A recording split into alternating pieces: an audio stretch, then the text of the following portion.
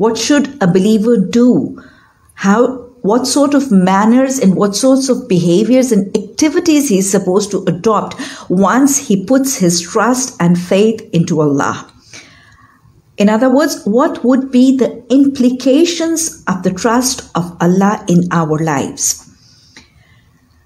Trust on Allah does not by any means it does not imply that the bondsman should stop struggling or striving or working for achieving their aims, their goals, and targets of life.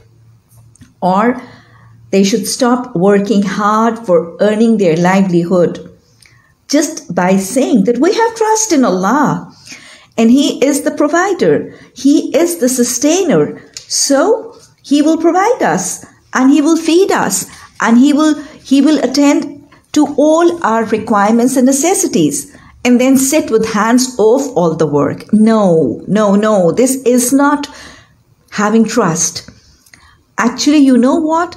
Having trust in Allah and having reliance in Allah means that the person should work, struggle, endure to the utmost capacity, obviously within the permissible limits of his life. And then after working and struggling, then after that to have trust in Allah.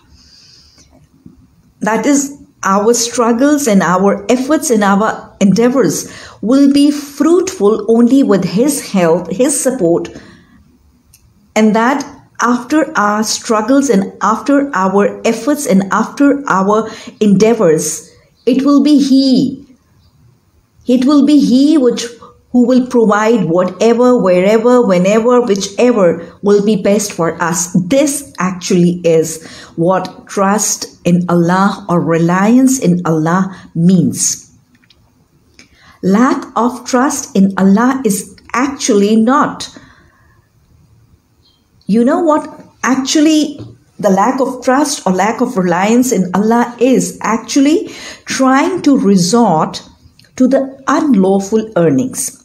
A person, if he tries to earn his livelihood by the forbidden, by the batil, or by the haram manners, then he is exhibiting by his, by his behavior that he does not have trust in Rabbul Alameen, in the Razik, the provider, the Razak, the best and the ultimate of all the providers.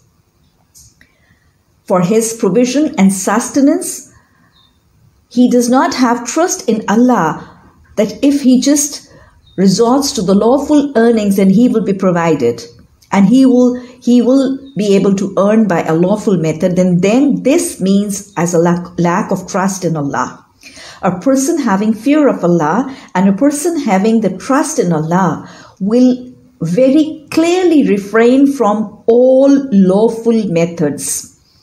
The person will not resort or even think of resorting to any forbidden deed for earning, for treating the sick people, or for any worldly affairs, will not think or would not resort to any unlawful method and this is what actually the reliance of Allah means. Verse number 82 Afala yatadabbarun al Quran. Then they, then do they not reflect upon the Quran? If it had been from any other than Allah, they would have found within it much contradictions.